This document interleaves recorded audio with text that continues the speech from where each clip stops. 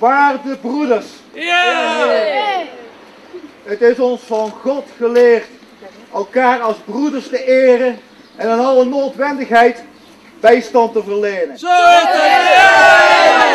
Het schijnt, het schijnt dat liefde, eendracht en trouw van de aarde verbannen zijn. En dat de verdrukking met iedere dag zal toenemen. Dat denk ik niet. En de druk zal blijven toenemen. Zolang wij elkaar niet trouw zijn en steunen. Zo is het. Het ambacht, dat mag niet verloren worden. Ons rammelt de beurs alsof er katoen in steekt. Niet dus. Zo is dat. En ondertussen gaan onze bazen weer respect de beurs. En wij, wij arme drommels, we zijn nauwelijks in staat om onze kinderen een stukje brood te geven. Zo is Om het schamelijk lichaam te dekken. Goedschap. Nee, hè? Nou de tijd wat beter schijnt te worden, spreken ze daar alweer van het loon te verminderen.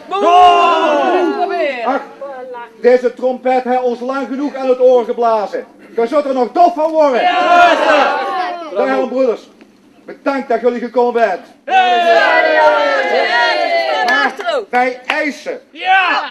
wij eisen het loon van 1844 terug. Geen stukken meer naar buitenwevers. En geen dure waren en verplichte winkelnering in de winkels van de fabrikanten. Bedankt.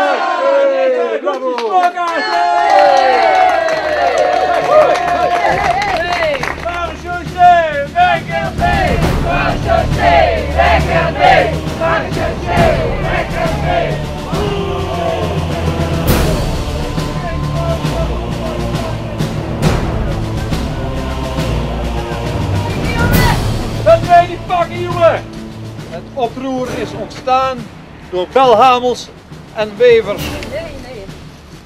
Die dachten dat het weefloon zou worden verminderd. Volgens ingewonnen informatie willen zij morgen op zaterdag hun poging hervatten. Ik zal met mijn brigade trachten dit te voorkomen. Ik arresteer Aart, de grootste der oproerkraaiers, Aartje van Asseldonk. Dat denk ik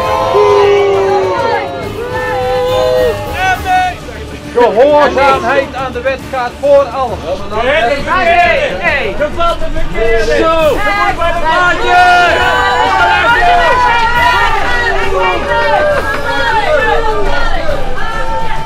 Oppassen voor de volksrassen.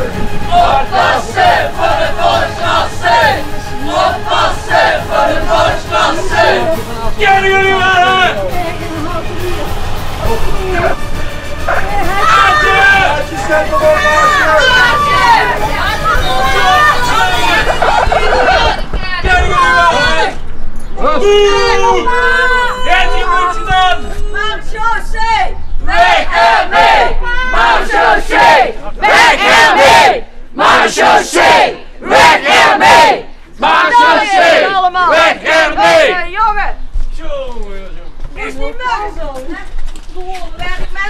niks gepreet, hè? Echt, helemaal niks. Godsamme! Hey, politie! Ze hebben wij met stenen eruit gegooid. Waren de aard kapot.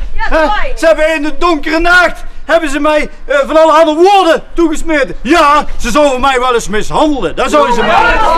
Ja. Ja. Maar, maar, hoezo? Wat kan ik eraan doen? Ik ben toch ook alleen maar een boekhouder van de fabrikant? Wat kan ik eraan doen? Ach, ik kan wel alleen maar cijfers kan ik overweg. Eén, één en één is twee.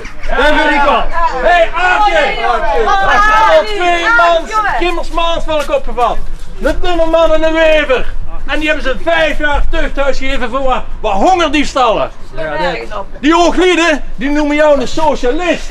Ja, ik weet niet wat het is, maar dat ruikt naar tien jaar tuchthuis.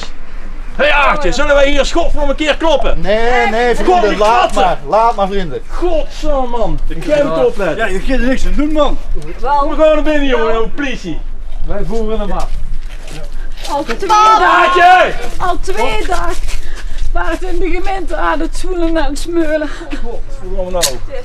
Hele partijen mensen kwamen ons- bij ons naar te praat. De ene wat bijten, de ander wat krabben. En een andere die was eruit in het slaan. Potschudden. Maar onze naart wist ze gelijk te bedaren. En de ander was nog branden. En een ander was zijn eigen ophangen. Hij niet veel schild, nee. En wat krijg je nou voor dank? Voor zijn getrouwigheid. Groot geld is het. Moeten mijn dochters, vaders nou achter de tralies zien? Jongen, jongen, jongen. Moet je nou echt geboeid door de Gimmerse straten worden geleid? Maar wij gaan mee. Wij gaan mee. We gaan er achteraan. Short samen. Nou. Kom terug hoor. Hé, hey, Van Aasten, kom eens hier, jongen. Die vrouw haal ik nog even van zuur. Nee, door. Kijk.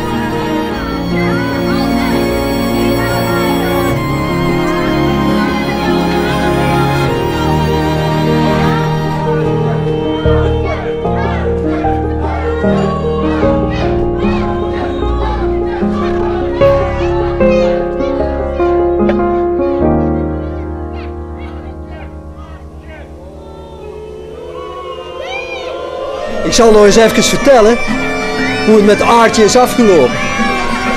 Hij is vrijgelaten na een een tijdje. Maar toen heeft hij gesolliciteerd als postboy. En toen is hij niet aangenomen.